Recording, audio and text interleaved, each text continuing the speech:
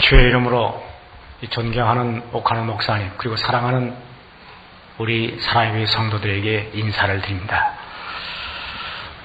오늘 이 한국 교회 역사상 처음 있는 일입니다. 강단을 교류하면서 서로 은혜를 받는다고 하는 이 사실이 얼마나 기쁜지 제가 평소에 우리 사랑의 교회 성도들과 함께 예배드리기를 원했는데 오늘 이렇게 만나게 되 너무 기쁩니다. 예, 짧은 시간 예, 하나님께서 주시는 한량없는 은혜가 임하시기를 축원합니다. 1517년 10월 31일 저 독일의 빗덴베르크 성당 정문에 95개 조의 논제로 교황청에 예, 항의하는 그런 이제 경고문이 붙었었습니다. 그것은 마르틴 루터가 당시 부패한 로마 예, 교황청을 향해서 예, 항의하는 그런 내용의 논제였습니다. 당시에 로마 교회는 부패해서 지금 현재 예, 바리칸 공화국에 있는 베드로 성당을 건축하기 위해서 재정적인 모금을 하고 있었습니다. 그 재정적인 모금이 부족하니까 거기에 대한 모금을 하는 수단으로 면죄부를 발행해서 네, 성도들에게 팔았습니다. 이걸 사는 사람은 죄가 면제되기 때문에 조상의 죄, 연옥에 있는 사람은 천당으로 또 지옥에 있는 사람은 연옥으로 이렇게 갈 수 있다. 그래서 우매한 성도들은 돈을 주면서 이것을 샀습니다. 이것을 볼 때 마르틴 루터는 아 부패가 크게 크게 달한 이 당시의 교회를 깨우쳐야 되겠다 해서 그가 95개 조의 그런 부패한 로마 교회의 그런 교리를 지적하면서 그가 함께 토론을 제의한 것입니다. 거기에 세 가지 큰 주제가 있습니다. 오직 성경은 신앙 행위의 표준이며 하나님 말씀이다. 둘째, 우리가 구원을 받는 것은 선행이나 율법의 준행이 아니고 오직 예수 그리스도의 속죄의 은혜로만 된다. 세 번째, 신부 앞에서 고해 성사함으로 우리가 죄산 받는 것이 아니라 예수 그리스도를 믿음으로만 구원을 받는다. 그 지금 생각해 보면 이건 평범한 얘기인데 그때 당시에는 혁명적 선언이었습니다. 드디어 마르틴 루터는 당시 부패한 로마 교회를 개혁해야 된다 하는 개혁을 부르짖었습니다. 그것이 바로 개혁주의인데 483년이 되었습니다. 한국 교회도 개혁해야 한다 하는 이것은 주님의 뜻입니다. 왜? 계속 교회는 세상 속에 있으면서 세속, 세속화되어 가기 때문에 끊임없이 개혁해야 한다. 그래서 개혁교회는 끊임없이 개혁돼야 한다. 이 말을 다른 말로 말하면 우리 성도들은 죽는 날까지 계속 은혜를 받아야 한다. 이렇게 표현할 수 있겠습니다. 오늘 이 종교 계획길의 핵심적인 주제는 오직 은혜 이것입니다. 오직 성경, 오직 은혜, 오직 믿음인데 이 전체를 한마디로 말하면 오직 은혜. 성경은 오직 하나님의 은혜로 말씀이며 우리는 오직 하나님의 은혜로만 구원을 받으며 오직 하나님의 은혜로만 믿는다. 그래서 오늘 오직 은혜 이런 오직 은혜로 귀한 시간 예배하는 시간 되시기를 축원합니다. 예수님께서 어떤 사람을 제일 좋아할까요? 여러분 자신을 생각할 때 예수님은 어떤 사람을 좋아할까? 한번 상상해 보시죠. 오늘 여기 나왔는데 어떤 사람을 예수님이 좋아하고 또 기뻐할까? 여러분 마음속에 주님이 원하는 사람은 어떤 사람일까? 저는 오랫동안 그 잘 몰랐어요. 그런데 제가 목회하면서 알았어요. 왜? 내가 좋아하는 교인이 있다는 사실을 알았어요. 좋아하는 게 세 가지가 있습니다. 첫째로 육신의 관계로 좋아하는 게 있어요. 이 교회 오면 처음에 조, 썩 좋게 보는 사람이 있어요. 인물이 반듯하고 또 아주 외모가 준수하고 또 이 사회적으로 지위가 있고 또 향수를 뿌려서 향기가 좀 나면 조금 좋아. 그런데 그 사람이 얼마나 좋으냐? 한 달, 두 달 지날 때 좋은지 아닌지 내기 또 와요. 인정이 있으면 좋은 사람 같이 느껴지는데 인정이 없어. 냉정하고 자기 몸에다 향수를 뿌려가지고 나면 콧구멍 무너지게 하고 얼마나 향수를 뿌렸는지 여기 앉아서 뿌렸는데 내 코가 아파서 설교가 안 돼요. 그런 정도로 자기 몸에다가 온갖 비싼 것 다 걸치고 밍크털을 입고 와서 아, 얼굴은 세련되어 있는데 자기만 생각하는 사람을 딱 보면 정이 떨어져. 정이 안 가요. 별로 좋지 느끼진 않아요. 그런데 자기를 희생하고 주님의 뜻대로 살려고 하는 성도를 보면 갈수록 정이 가요. 그래서 교회는 세 종류의 정이 있다는 겁니다. 육정, 인정, 영정, 영적인 정.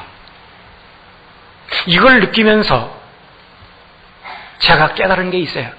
어떤 교인들은 교회 와서 저를 보면서 그럽니다. 아, 우리 목사님은 미남이야. 내가 뭐 원래 미남인 거 잘 알잖아요. 왜? 천하에 하나밖에 없으니까요. 전무후무니까 이전에도 없고 이후에도 없는 유일하게 하나 만들어 온 작품이 나니까 봐야 미남으로 알죠. 근데 마음에 와닿질 않아요. 그런데 교인이 나에게 와서 하는 말 가운데 감동과 설레이는 말이 있어요. 목사님, 은혜 받고 있습니다. 목사님은 보기만 해도 은혜가 됩니다. 목사님을 생각하면 눈물이 납니다. 하, 나를 죽이는구나. 너무너무 놀랍죠. 이 목사님 보기만 해도 은혜가 된다는데 뭐 말할 게 있겠어요? 그 어떤 사람은 성탄때 카드를 보냈는데 이렇게 보내요. 성탄과 새해 복 많이 받으시기를 축원합니다. 그건 뭐 들었습니까? 위에 있는데. 자. 그 밑에다가 뭐 까, 싸이를 휘둘러요. 하하, 괘씸한 지고. 아, 그런데 어떤 분은 그렇게 있어요. 목사님, 은혜 받고 행복하게 살고 있습니다. 목사님 아니면 내가 이 세상 어떻게 살겠습니까? 다 그러면서 그 믿었어요. 이 시대에 태어나 목사님과 함께 살고 있다는 한 가지만으로 나는 행복을 얻고 있습니다. 이야, 미치겠어요. 왜 그렇습니까? 은혜 받기 때문에 그런 거 아닙니까? 놀랍죠. 그럼 제가 아, 이런 이런 카드야말로 이건 영원히 보존을 하고 깊이 금고 속에 넣습니다. 우리 주님이 어떤 사람을 좋아할까를 제가 알게 되었어요. 아, 주님은 은혜 받는 사람을 좋아하죠. 이 시간도 여러분 부자라고 좋아하는 거 아니에요? 사회적인 지위 있다고 좋아하는 게 아니에요. 이 교회 장로님이라고 주님이 좋아하는 게 아니에요. 은혜 받는 사람을 좋아하십니다. 할렐루야. 은혜 받는 사람을 좋아하십니다. 은혜 받는 사람을 찾고 있습니다.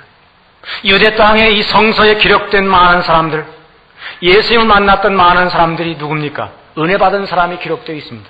똑같은 병든 자들인데 예수님 만나서 은혜 받아 병을 고쳤을 때 이 사람의 사건을 기록하고 있습니다.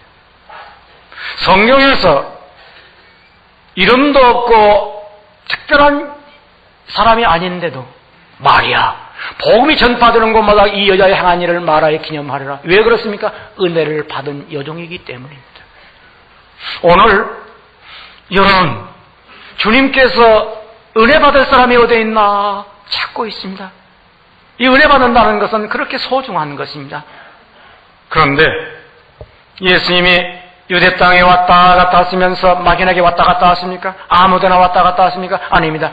오늘은 어디 가면 은혜 받을 사람이 있겠지 해서 은혜 받을 사람을 찾으러 갑니다. 전지하신 주님은 길을 걸으시면서도 오늘 베스다의 언덕으로 가면 은혜 받을 사람이 거기 있지. 또 배단위에 가면 있지. 그래서 다니는 겁니다. 수가성에 가면 은혜 받을 여인이 있지. 그래서 가는 겁니다. 오늘 우리 주님이 은혜 받을 사람이 어디 있나 찾고 있습니다. 그런데 예수님께서는 특별히 은혜 받을 사람을 택하는 중에 열두 제자를 택했습니다. 왜? 은혜를 많이 받으라고요.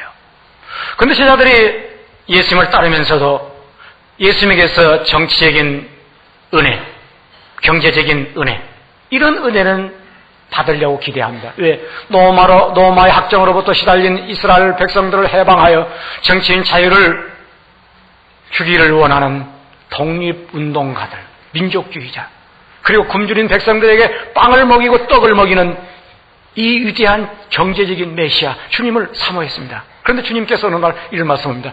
내가 에루살렘에 올라가 장로들과 서기관들과 이제 제사장들에게 죽임을 당하고 제 내가 3일 만에 살아나리라. 이게 얼마나 충격적인 얘기입니까? 주님이 죽는다니. 그럼 우리는 모든 게 끝장나는 거 아닌가? 그래. 베드로가 주여 이런 일이 미치지 못하리이다. 주님이 왜 죽으시옵니까? 라고 만류할 때 사단아 물러가라. 네가 나를 넘어지게 하는 자다. 네가 하나님의 일을 생각지 아니하고 사람의 일을 생각하는구나 책망을 하셨습니다. 주님은 제자들이 은혜를 받지 아니하고 딴 생각하는 것을 아시고 그들 데리고 높은 산으로 갑니다. 그 내용이 오늘 여기 있는 말씀입니다. 이 변화산의 사건입니다. 이것은 은혜 받는 내용입니다. 그 중에 특별히 예수님께서 베드로와 야고보와 요한을 데리시고 산으로 가시는데 놀라운 일이 있습니다. 자, 28절 읽겠습니다. 시작. 이 말씀을 하신 후 제8일쯤 되어 예수께서 베드로와 요한과 야곱을 내리시고 기도하시러 산에 올라가사 아멘. 여기 이 말씀을 하신 후 여기 이 말씀이 바로 핵심적인 성경의 진리입니다. 이 말씀을 통해서 은혜 발휘한다는 겁니다. 그게 무슨 말씀이냐? 여기 22절 읽겠습니다. 시작. 가라사대 인자가 많은 고난을 받고 장로들과 대장들과 서기관들에게 버림받아 죽임을 당하고 제3일에 살아나야 하리라 하시고 주님께서 가라사대 이 말씀을 시작하겠습니다. 이 말씀을 하시노. 이 말씀을 해도 은혜를 받지 못하니까 데리고 갑니다. 여러분, 성경은 이 말씀을 기록한 책입니다. 예수님이 십자가에 죽으시고 부활한다는 게 성경의 핵심입니다. 성경에 기록된 말씀대로 몸으로 이루어 오신 분이 예수님이십니다. 그 말씀대로 죽으시고 말씀대로 부활하셨습니다. 그 말씀을 받아서 은혜를 받으라고 세운 사람들이 제자입니다. 제자는 그 말씀으로 은혜 받으라는 게 제자입니다. 사랑의 교회 제자 훈련은 뭡니까? 예수 십자가의 죽음과 부활로 은혜 받으라고 그걸 본받으라고 세움을 받는 훈련입니다. 초대교회 교회는 어디에 섰는가? 이 말씀의 근거에서 교회가 섰습니다. 자, 사도행전 2장 37절을 펴보시죠. 사도행전 2장 37절 읽겠습니다. 저희가 이 말을 듣고 마음에 찔려 베드로와 다른 사도들에게 물어 가로되 형제들아 우리가 어찌할꼬 하거늘 여러분 저희가 이 말을 듣고 초대교회는 어떻게 시작되었습니까? 베드로가 이 말씀을 선포할 때 그 말씀이 바로 그 위에 36절에 있습니다. 읽겠습니다. 그런즉 이스라엘 온 집이 정령할지니 너희가 십자가에 못 박은 이 예수를 하나님이 주와 그리스도가 되게 하셨느니라 하니라. 너희가 죽인 예수가 부활하셔서 우리의 주가 되었다. 이 말씀을 선포함으로 초대교회가 이루어졌고 이 말씀을 듣는 성도들이 당시에 사람 유대인들이 어찌할고 회개하면서 3천 명이 모이면서 교회가 시작이 되었습니다. 여러분 오늘도 이 말씀을 들어 왔습니다. 이 말씀을 통해서 은혜 받으러 온 줄로 믿습니다. 이 말씀 그런데 제자들이 이 말씀을 듣고도 은혜를 받지 못하니까 이 말씀을 신이 보여주기 위해서 지하를 데리고 간 겁니다. 그 말씀을 하고 예수님은 기도하십니다. 이 기도가 이 말씀을 가지고 기도하는 겁니다. 십자가의 좋음과 부활을 가지고 기도하는 거예요. 문제를 가지고 기도하는 게 아닙니다. 우리가 흔히 기도할 때는 수능 시험, 또 무슨 휴직, 가정 문제 이런 문제를 가지고는 기도해서 내 생에 변화가 옵니다. 이 말씀을 가지고 예수 십자가의 죽음과 부활의 말씀을 가지고 기도할 때 어떤 사건이 났느냐? 30 이제 29절 읽겠습니다. 누가복음 9장 29절 읽겠습니다. 시작. 기도하실 때 용모가 변화되고 옷이 휘어져 광채하다. 용모가 변화되었어요. 여러분 기도하고 나서 용모가 변화돼요. 예배 드리고 나서 용모가 변화돼요. 저는 예배 드리고 나서 교인들의 얼굴이 변화되지 않으면 아 내가 예배에 오늘 설교를 헛것했구나. 왜? 교인들의 얼굴이 어둡다든지 그 마음에 불안한 것을 가지고 간다고 할 때는 저는 오늘 예배를 잘못 드렸다고 회개합니다. 용모가 변화되고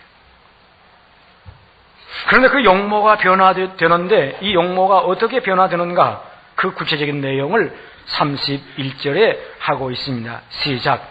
영광 중에 나타나서 장차 예수께서 에루살렘에 별세할 걸 말씀할세. 아멘. 여기 두 사람이 문득 나타나는데 누구냐? 모세와 엘리야. 모세는 율법의 사람이고 엘리야는 선자의 사람인데 두 사람이 나타나서 예수님이 예루살렘에서 별세할 걸 얘기합니다. 이 별세는 우리가 읽은 22절에 예수님이 죽고 부활한다는 내용을 다시 표현한 겁니다. 별세한 말은 떠날 별자 세상 세자 세상을 떠난다 죽는다는 얘기죠. 그런데 죽는다는 얘기가 끝나는 게 아니고 또 하나의 내용이 있는데 다를 별자 세상 세자 다른 세상이라는 얘기가 있습니다. 다른 세상. 그러니까 세상 사람들은 별세했다고는 죽었습니다. 그런데 우리 예수님은 별세할 때 죽는 게 아니고 이 세상을 떠나 다른 세상으로 십자가에 죽어서 부활로 그래서 부활까지 포함되어 있는 것이 별세입니다. 이 헬라어의 단어가 엑소더스, exodon 이건 출애굽인데요. 이스라엘 백성이 애굽을 떠나서 가나안 땅에 들어가는 게 엑소더스입니다. 애굽만 떠나는 게 아니고 going out 나와서 저들이 들어가는 가나안 이 들어가는 이게 바로 엑스더스 출애굽이라는 겁니다. 만약에 애굽만 나와 가지고 가나안 땅에 못 들어간 사람은 광야에서 배에다 다 죽지 않습니까? 이건 슬프고 탄식하는 백성들입니다. 가나안 땅에 들어가야죠. 우리가 세상을 떠나 교회 안으로 왔으면 예수 안으로 들어가서 예수 안에서 살고 예수 안에서 만족하고 예수 안에서 행복을 얻어야 됩니다. 이것이 바로 별세입니다. 이런 놀라운 단어를 여기 썼어요. 엑소더스, exodon. 그래 별세했단 말은 죽는다는 얘기가 아니에요. 산다는 얘기입니다. 다시. 세상 사람들은 별세하면 죽으라고 별세합니다. 그래서 무덤으로 끝나버립니다. 우리는 죽으려고 별세하는 것이 아니라 다시 살라고 별세합니다. 그런데 세 가지 별세가 있어요. 천당 별세, 죽어서 천당 가는 별세. 또 하나는 죽어서 부활 별세. 그건 영화로운 별세고 천당 가는 별세가 있어요. 그런데 살아서 별세를 해야 되거든요. 그래서 살아서 별세를 이렇게 말합니다. 여기 23절 읽겠습니다. 시작. 무리에게 이르시되 아무든지 나를 따라오려거든 자기를 부인하고 날마다 제 십자가를 지고 나를 쫓을 것이니라. 날마다이란 말은 살아있다는 증거입니다. 날마다 자기 십자가, 날마다 자기 죽음을 선언하고 예수님은 십자가에서 단번에 죽었습니다. 왜? 우리의 죄를 구속하시기 위해서, 우리 죄인들을 구원하기 위해서 단번에 죽으시면서 피 흘리시고 부활하셔서 그는 완전한 우리 구원을 완성하셨습니다. 이제 우리가 그 믿음으로 구원을 얻었는데 이 세상을 살면서 예수를 믿는다면 이제는 예수의 죽음과 부활을 믿는 것이 아니라 그 속에서 내가 죽었다고. 엔 그리스도. 내가 그 안에 살았다고. 부활. 내가 죽었고 내가 살았다고 믿는 그 믿음을 별세 신앙이라고 말하는데 이 제자 훈련의 핵심적인 구절인 갈라디아서 2장 20절을 한번 암송하겠습니다. 시작. 내가 그리스도와 함께 십자가에 못 박혔나니. 그런즉 이제는 내가 사는 것이 아니요 오직 내 안에 그리스도께서 사신 것이라 이제 내가 육체 가운데 사는 것은 나를 사랑하사 나를 위하여 자기 몸을 버리신 하나님의 아들을 믿는 믿음 안에서 사는 것이라 이게 무슨 말입니까? 내가 그리스도와 함께 십자가에 못 박혔나니 십자가에 예수가 못 박은 것으로 끝나는 것이 아니라 내가 못 박혔다 내가 죽었다 이제 내가 사는 것은 내가 사는 것이 아니라 내 안에 그리스도가 사신다. 완전히 새로운 존재. 이것이 별세의 은혜요, 별세의 신앙입니다. 이 별세의 은혜를 받아, 받으면 첫째 어떻게 되느냐? 변화됩니다. 변화. 기도한다고 변화되는 게 아닙니다. 우리가 성경을 읽는다고 변화되는 게 아닙니다. 별세를 해야 변화됩니다. 예수님의 변화는 별세로 보였습니다. 십자가의 죽고 부활이 예수님의 변화입니다. 이걸 보여주고 있습니다. 예수님은 기적을 두 가지 면에서 행했습니다. 하나는 다른 사람들을 위해서 병든 자 고쳐주고 죽은 자 살려주고 그리고 오병이어로 기적을 행해서 먹이시고 이거 다른 사람이 하였습니다. 그런데 자기 자신에게 향한 기적이 있는데 이건 유일한 기적입니다. 이 기적이 뭐냐? 십자가의 죽음과 부활을 미리 모형적으로 보여준 변화산의 기적입니다. 용모가 변화된 게 기적 아닙니까? 여러분 신앙생활하면서 최대의 기적은 여러분의 몸에서 일어나기를 축원합니다. 뭐 사업이 잘 됐다고 기적이 아니에요. 병원에 가 살아났다고 기적이 아니에요. 최대의 변화는 자기의 기적은 자기 변화인데요. 여러분, 예수 믿고 용모가 변화되시기를 축원합니다. 얼굴이 변화되지 않았다. 어떤 사람은 그래요. 목사님, 내가 옛날에 처녀 때는 인물이 좋았는데 이 남편 만나가지고 카, 내 얼굴 보죠. 아주 인생 버렸습니다. 하하, 안 됐구만. 어떤 시어머니, 목사님, 내가 원래 괜찮았는데 며느리 하나 들어가지고 열받쳐서 키위가 끼고 눈곱이 끼고 머리가 빠지고 이걸 했습니다. 하하, 불쌍한 기고 어떤 교회 사모님이 그 결혼 전에 사업하는 남편을 만났어요. 기도 중에 만났습니다. 한 교회에서. 그런데 이 남편이 살다 보니까 달라. 가끔 폭력이 나가고 아주 복잡한 남자. 그래 늘 하나님 앞에 기도했습니다. 그런데 그분이 나중에 또 은혜 받았다고 목사까지 되었어요. 목사가 되어가지고도 집에 와서 폭력을 행사하는 거야. 하하. 그래 사모님이 교회 다녀 가서 주여 주께서 결혼하라 해서 기도 중에 했으니까 주께서 결혼하라 해서 남편을 만나 싸운데 그 남편 만나서 나는 불행해졌습니다. 주님, 그 남편 만나서 저는 참으로 내 인생이 꼴이 되었습니다. 하면서 원망하면서 늘 기도합니다. 그리고 방에 들어가서 내가 당신을 믿고 사는데 그렇게 할 수 있느냐? 나는 당신 만나며 팔자 패렸어. 하면서 아주 불행한 나날을 살아가는 그 사모가 오늘 성전에 가서 기도하는데 성령께서 감동하셨습니다. 딸아, 언제 내가 너더러 내 남편 믿고 살라더냐? 내가 언제 내 남편 믿고 살라고 더냐? 어, 깜짝 놀랐죠. 그렇지. 내가 예수 믿고 사는 사람인데 어찌 남편 믿고 산다고 했지? 또, 내가 언제 내 남편 보고 행복하라더냐? 나를 믿고 행복하라 했지. 네가 나 때문에 행복하라 했지. 내 남편 때문에 행복하라 했던가? 내 말을 취소하라. 그 부인이 충격을 받았어요. 그렇다. 지금 내가 잘못 살았구나. 남편 믿고 살면서 열받치고, 남편 보고 살면서 울고, 오, 주님, 이제 주님을 믿고 삽니다. 주님을 바라보고 행복합니다. 주님만 사랑합니다. 이 찬송을 부르고 눈물을 닦고 방 안에 와서 남편을 보니까 예전 남편이 아니에요. 왜? 예전 남편이 아니죠. 주님을 보는데 무슨 예전 남편 보면서 열받을 게 뭐 있겠어요? 왜? 주님을 어떻게 보느냐? 그 남편을 보면서 주님을 봅니다. 남편이 주먹질을 하면, 오, 주여. 그러니 그 남편이 주먹질을 하려다가 같이 대들어야 이게, 이게 힘이 나가는 건데, 오, 주여니까, 못되면 왜? 주여 하는데 쳤다가 벼락 맞으려고? 완전히 가정이 달라졌죠. 변화되었어요. 여러분, 오늘 이 변화를 주님에게서 얻으세요. 십자가의 죽음과 부활의 주님을 이 속에 모시세요. 할렐루야! 이 변화를 받아야만 행복해요. 얼굴이 옛날만 못 와요? 회개해야 됩니다. 뭐 회개라면 다른 게 아니에요. 얼굴이 지금 옛날 같이 아름답지 못하고 기미가 많이 끼었다. 기미를 빼세요. 마사지로 빼지 말고 은혜로 빼세요. 할렐루야.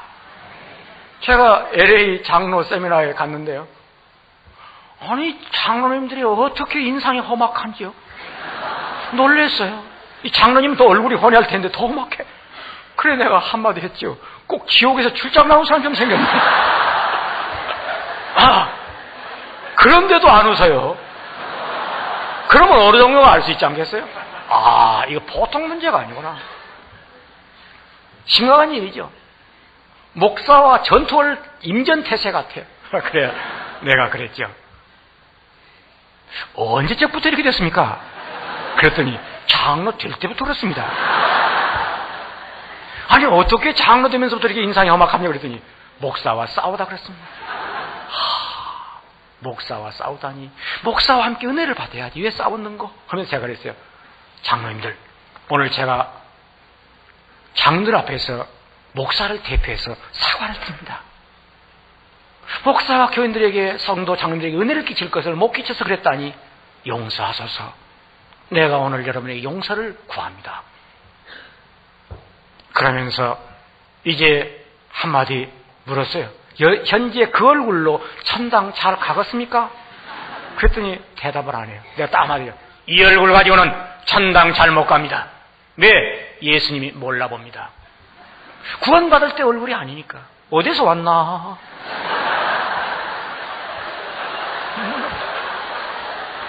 예, 암흑의 장로입니다. 내가 몰라보겠는데.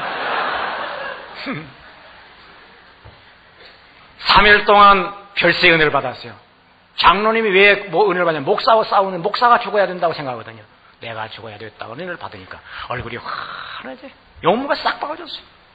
천당 잘 가겠습니까? 예, 할렐루야. 이제 잘 가겠다고 하잖아요. 여러분, 여러분의 얼굴이 우럭에 나가는 사람 천당 잘못 가는 모습입니다. 천당 잘 가세요. 여러분 앞으로는 며느리 때문에 시어머니 때문에 사업에 망해서 이런 소리 하지 마세요. 사업에 망해도 얼굴은 훤했어요. 왜? 예수님 때문에. 사업 때문에는 얼굴이 어두워질 수 있는데 사업 때문에 사는 게 아니에요. 예수님 때문에 살기 때문에요. 용모가 변화돼요. 할렐루야. 이 상가대도 용모가 변화 안 되려면 내려가야 돼요. 모두로 거기 앉아 있어요. 상가대는 은혜 받는 자리입니다. 할렐루야. 은혜 받는 자리예요.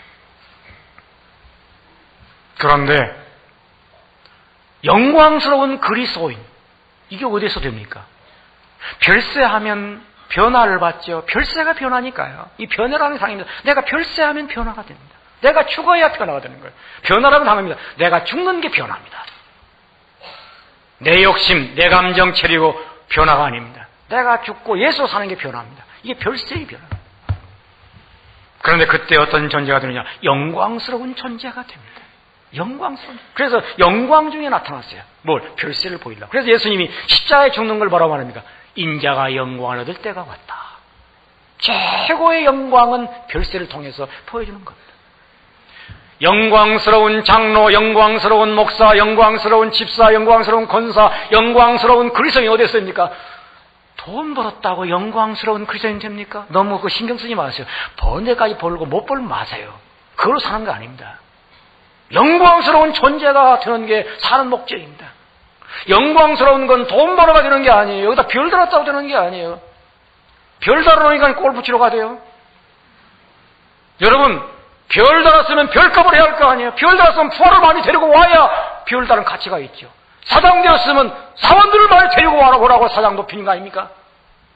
배, 배 나오라고 사장 되었습니까? 돈 벌어가지고 저축하라고 사장 되었습니까? 그 많은 사람들 높은 자리에 있을 때 쓰라는 거예요. 어떻게? 하나님의 영광을 위해서. 영광이 뭡니까? 전도해야죠. 이번에 대각성 전도에서도 사장이라면서 혼자 펜만 내밀고 왔어요. 그 무슨 사장이요? 죽는 사장이지, 그게. 죽을 사자상입니다, 그건. 똑똑히 들으세요. 우리가 예수 믿으면서 영광이 뭐예요? 나를 죽이는 게 영광이에요. 놀라운 일입니다. 놀라운 일.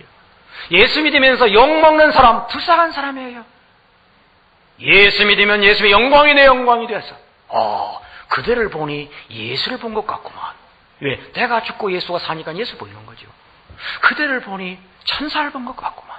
집에 돌아가서 아내가 남편에게 천사처럼 보여야 할 거 아닙니까?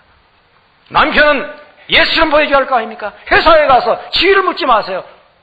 어떤 직원이라도 사장이 볼 때, 아, 저 사람은 천사인가? 하늘에서 내려온 사람인가? 감동을 줘야죠. 어떻게? 나를 별세시키면 됩니다. 제 교회 정집사람 분이 있어요. 참, 제가 봐도 너무너무 감동이 돼요. 시아버지 잘못 만나가지고. 잘 만난 게 잘 만났죠. 시아버지한테 맞고 다니는 거죠.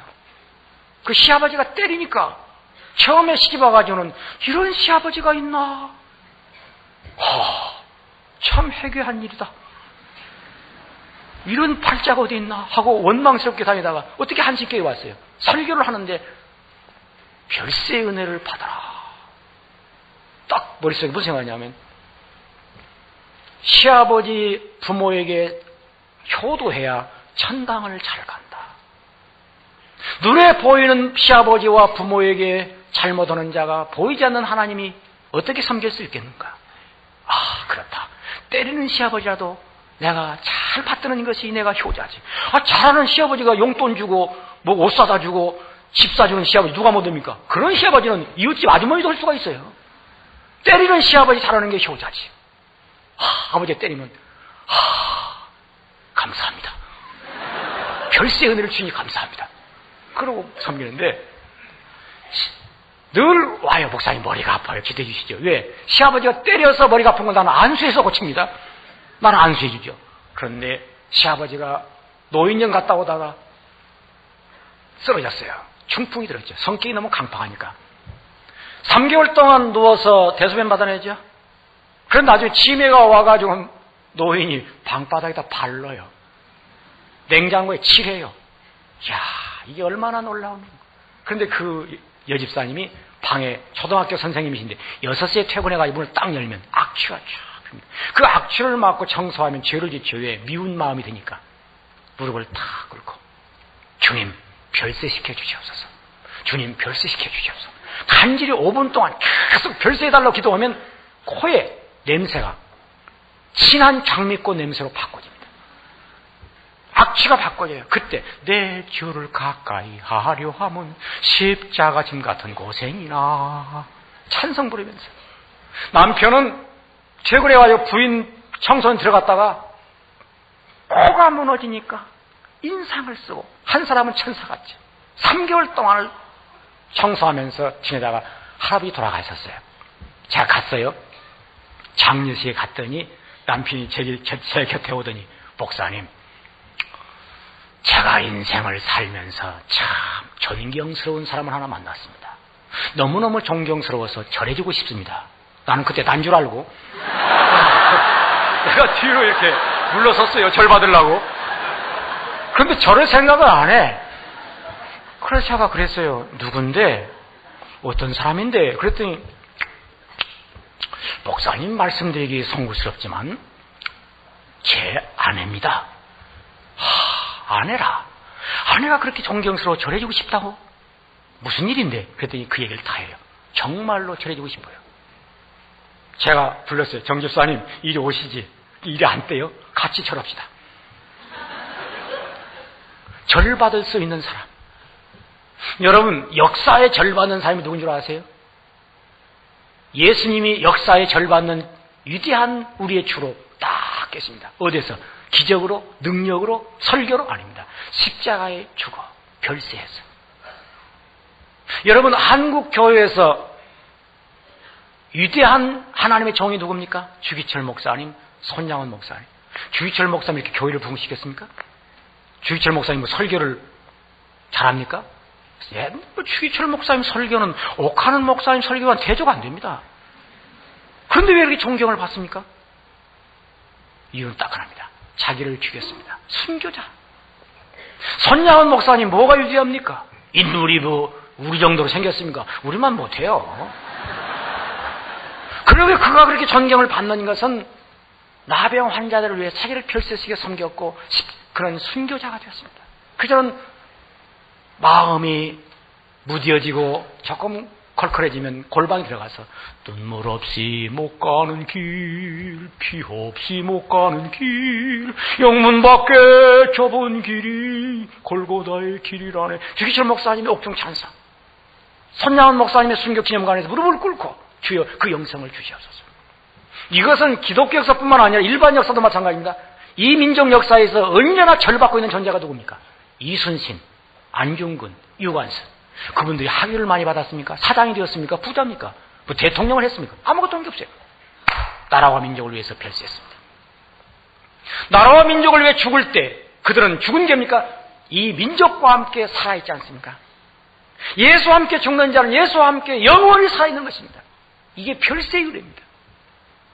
여러분, 오늘 여러분의 존재를 우뚝 세우세요. 위대하게 세우세요. 절받는 존재로 세우세요. 회사에서 지위를 높이려고 하지 말고 절받는 존재로 세우세요. 지위를 묻지 마세요. 가정부일지라도 절받는 존재로 세울 수가 있습니다. 이것이 바로 예수 믿는 행복이요. 목적입니다. 영광입니다. 그런데 예수를 믿는 사람은 결국에 어떻게 되느냐? 여기 있는 게 좋사오니. 초막셋을 짓자고 베드로가 말하지 않습니까? 너무너무 좋으니까 영광스러운 별세 은혜를 받고 보니까 전에는 주님 그럴 수 없다고 했던 베드로가 여기 있는 게 좋사오니. 너무너무 좋아요. 왜? 그 영광스러운 별세 은혜를 보니까 은혜를 받으면 여기 있는 게 좋사와. 내 남편이 좋아. 때려도 좋아. 왜? 주님께로서 은혜 받으라고 때리니까. 그래서 때리는 남편을 보면서 아이고 저런 깡패가 있는가? 그건 깡, 깡녀입니다. 깡패하고 사는 깡녀. 때리는 남편을 보면서 어 주여 그때는 이 여자는 맞는 여자가 아니에요. 천사입니다. 그런 남편을 주로 받기 때문에 천사가 되는 겁니다. 여러분 천사로 사세요. 깡녀로 살지 마세요. 남편 멱살 잡지 마세요. 천사로 사세요. 핍박하는 회사에 가서도 사장을 주님처럼 섬겨보세요. 아, 그대가 천사구만. 그렇게 됩니다. 여기 있는 게 좋사오니, 인생을 살면서 여기 있는 게 좋사오니, 이 고백을 해야 돼요. 이게 행복입니다. 저도 처음에 교회 가서요, 이야, 참 놀라운 사람을 만났어요. 그 교회에서 늙은 자인데요. 목사를 얼마나 괴롭히는지 내가 저 자는 목사를 괴롭히려고 태어났나? 하, 참 놀랍다. 내가 어쩌다가 저 자를 만났나? 이건 뭐 스트레스를 받아가지고 목회할 수가 있어야죠. 그래 제가 하나님 앞에 기도를 시작했습니다. 주여, 저자를 다른 데로 보내주시옵소서. 다른 데로 보내달라고 그렇게 기도를 하는데도 갈 생각을 안 났는데 어느 날 성령께서 감동하세요. 뭐라고 하냐? 갈 데가 없다. 어디로 가겠어요, 농촌교회에서. 그래, 갈 데가 없다는데 어떻게 또 이야기했어요? 내가 기도를 또 시작했죠. 주로, 그러시오면, 나이가 지금 꽤 싸운데, 천당 호텔에 가 주시옵소서. 그랬더니 주께서 뭐라고 하냐? 아직 때가 안 되었다. 아이고, 갈 데도 없고, 때도 안 되고. 이거, 이 스트레스를 어떻게 받고 목회합니까? 견딜 수가 없죠. 주여, 그러시오면, 그 전나가신 능력으로 버릇을 좀 고쳐주시옵소서. 버릇을 고쳐달라고 간절히 그랬더니, 주께서 못 고치겠다. 내가 고칠 능력이 없다. 그냥. 전능하신 주님, 죽은 자를 살리고 병든 자를 고치고 바다를 잠잠케 하는 그 능력으로 왜 처자를 못 고치옵니까? 그랬더니 나도 저런 자는 못 고쳐. 그래 내가 죽었다. 내가 죽었어. 그래서 내게 죽을 능력은 있다. 고칠 능력은 없고 죽을 능력은 있어. 그래서 십자가의 피로 덮어서 그의 죄를 사해서 내가 데려가노니 너도 고칠 생각 마라. 네가 고칠라다 열받으면 너 명대로 못 살아. 네가 은혜 받고 와야지 열 받아 죽어서 오면 되겠나? 주께서 물으셔요. 너는 내가 고쳤니? 주님께서 나를 못 고쳤거든요. 저자도 못 고치고 나도 못 고치고 피장판을 못 고친 건데 못 고친 주제에 남 고치려고 하니까 됩니까? 제가 기도를 바꿨어요. 주여 나를 별세시켜 주시옵소서. 나를 죽여 주시옵소서. 계속 전에는 기도가 기도가 아니에요. 그자하고 싸우는 거지. 내보내려고 천당 대가 달라고. 그 되겠어요. 안될 소리 이제 나를 죽여달라 기도하니까 내 눈동자가 부드러워져요. 그때 내가 완전히 내 용모가 바꿔져요. 내 마음이 편안해져요.